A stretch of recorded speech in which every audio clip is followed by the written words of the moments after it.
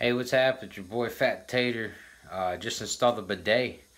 And uh, I always call them Baudet. But apparently it's not spelt like that. It's, it's, it's B-I-D-E-T.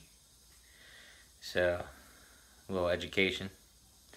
If you don't know what a bidet is, it's like uh, this, this thing that shoots water, cleans your butthole after you get done pooping. Uh, buddy gave it to me for my B-day. Uh, can't Can't wait. I've been saving my poop all day just for this moment. Trying to hold your poop while working on the toilet, you know, attaching this thing. It's pretty fun. So, anyways, uh, this is my first attempt, and I figured I'd make a video out of it. So I'm going to try this thing out.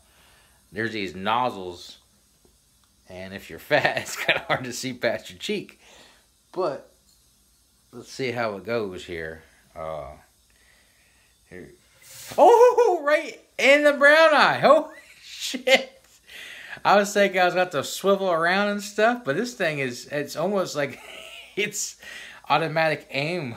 Holy shit.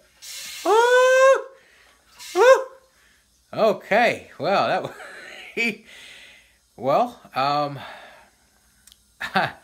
that's amazing. Like, it, it knew it was meant just for me.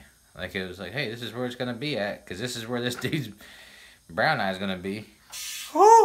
All right, well, I give it two nip flips up. All right, well, you guys hopefully enjoyed the video.